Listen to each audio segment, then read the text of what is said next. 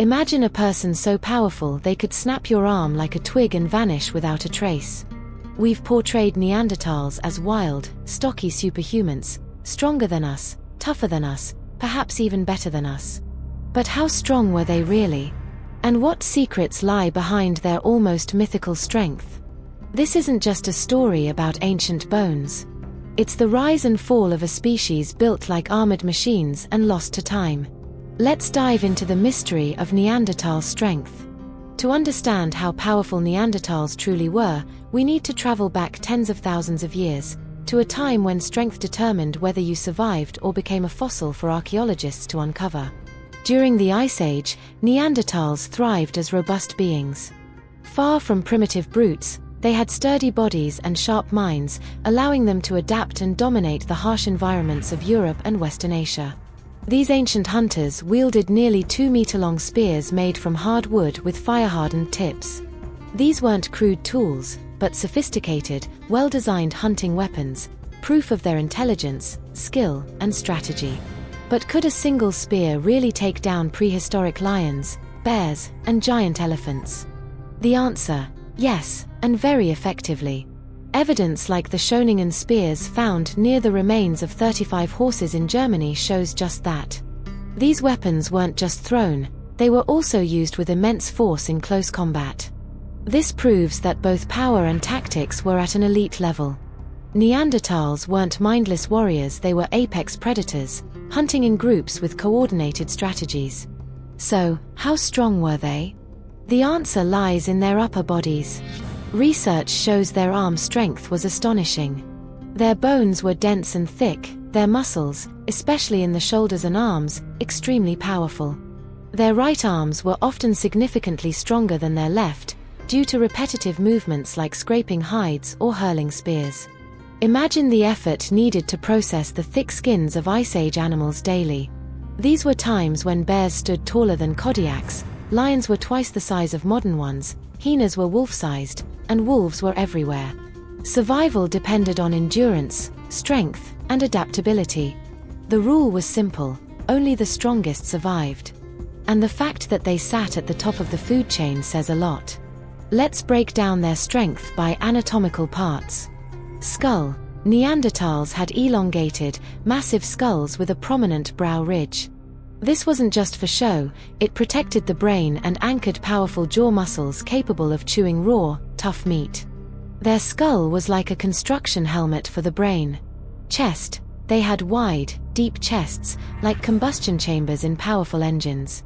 This allowed deeper breaths, more oxygenated blood, and bursts of energy during hunts or fights. The advantage is clear. Limbs, unlike our long, flexible limbs, theirs were short and stocky. You might think spear throwing requires long arms, but think again. Consider the difference between a sprinter and a powerlifter. The first has long legs for speed, the second short but explosive muscles. Short limbs meant better insulation, balance, and brute force.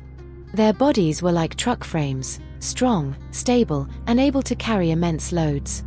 Hands, broad fingers, and short phalanges. Their grip was like a vice, this was crucial for using heavy tools or grappling with animals. They could squeeze a weapon with a force that modern humans can only develop through intense training. DNA, though we share 99.9% of our DNA with them, some critical differences stand out.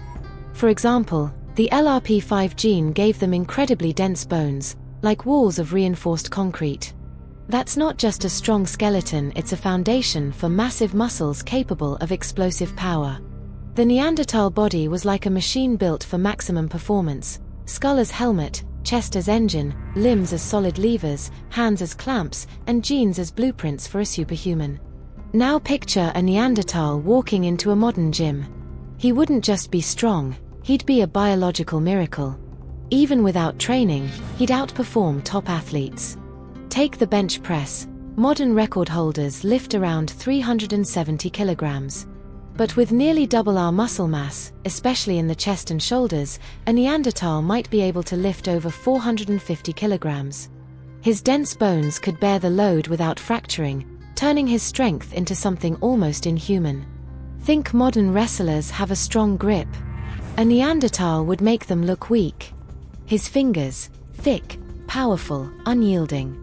He could dominate arm wrestling without breaking a sweat. His entire body was built for survival, dominance, and raw power. The strength of ancient hunters Neanderthals were incredibly strong. But this wasn't gym's strength. They carried animal carcasses over long distances. Fossil evidence shows their bones endured massive stress. They could haul or drag hundreds of kilograms of meat and supplies through icy terrain with barely any fatigue. Now imagine a Neanderthal as a boxer. With his powerful upper body and massive arms, one punch could shatter bones. Studies show modern boxing champions can strike with a force of around 1.2 to 1.5 tons. Given their dense muscles and iron grip, a Neanderthal's punch might reach 2 or even 3 tons, enough to crush a skull in a single blow. But it wasn't for sport. They needed that power to hunt. Neanderthals dominated Ice Age hunting. Evolution, anatomy, and strategy made them near-perfect predators. Their muscular bodies, advanced tools, and teamwork enabled them to hunt giants, mammoths, woolly rhinos, massive deer. These weren't just animals, they were challenges on par with modern military operations. At a site in La Cotte de Saint-Brelade in France, Archaeologists found piles of mammoth bones, evidence that Neanderthals drove these giants off cliffs to make the kill easier. Like controlled demolitions today, efficient and calculated. They weren't just strong, they knew how to use the landscape to their advantage. Their bodies resembled powerful machines. Every muscle was honed for one purpose to defeat the most dangerous creatures. But strength wasn't everything. Their teamwork was tight, like a well-coordinated sports team. Unlike Homo sapiens, who chased prey for hours, Neanderthals hunted in packs, surrounding animals and disorienting them. They didn't just share the risk, they synchronized their actions like rowers in perfect rhythm. They also set ambushes. Using knowledge of animal behavior, they waited near water sources and migration trails. These were natural traps, almost like modern security systems. Their weapons were clever.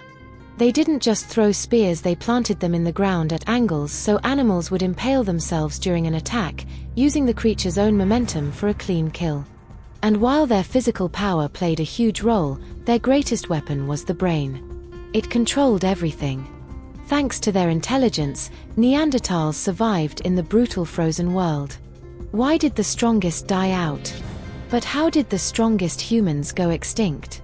Despite their physical superiority, Neanderthals disappeared around 40,000 years ago.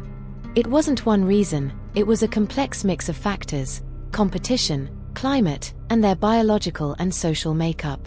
Their main competition was Homo sapiens.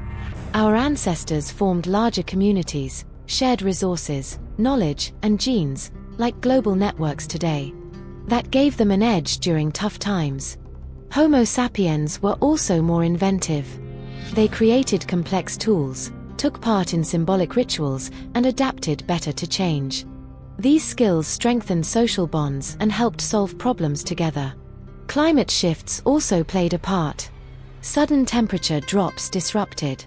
What do you think? Who were the Neanderthals, prehistoric strong men or part of a larger puzzle for survival? Write your thoughts in the comments. And if you're interested in ancient mysteries, make sure to subscribe, as more stories about human evolution are coming your way. But despite all this, Neanderthals left behind not only physical traces but also a genetic legacy that still lives on in us today. Modern research shows that most people, especially those of European and Asian descent, carry between 1 to 2% Neanderthal DNA. This means that their disappearance was not complete, in a sense, they continue to live within us. The genes inherited from Neanderthals still affect our immune system, reactions to infections, even our skin and hair type. Some of these traits likely helped our ancestors adapt to the harsh conditions of the Ice Age. Paradoxically, it was through interspecies mating that part of their legacy survived their extinction.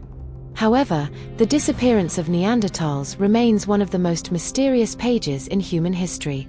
We still don't know the exact moment when the last one vanished. Were there dramatic scenes of their extinction, Or did the last clans dissolve among Homo sapiens, leaving only traces in our genetics? Whatever happened, Neanderthals were not just strong people of the past. They are part of our history. Their courage, intellect, and ability to survive in conditions that would have seemed unbearable to us deserve respect. They were not wild beasts, but true hunters, Stone Age engineers, and strategists of their time. And perhaps their story is a reminder to us strength is not just muscles. It's also the ability to adapt, cooperate, and invent. These qualities ultimately determined who survived and who vanished.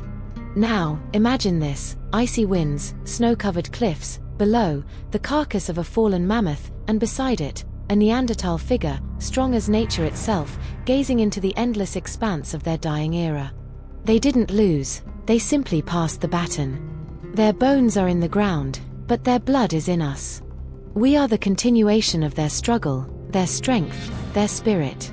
And every time we overcome difficulties, when we unite for a common goal, when we survive where it seemed impossible, it's not only our minds speaking, but the voice of our ancestors, echoing through the millennia. The voice of the Neanderthal. If you found this video interesting, make sure to support it, like, leave a comment on what you think about their way of life, and don't forget to subscribe to the channel. Hit the bell so you don't miss the next episodes about the world's most mysterious and secretive communities.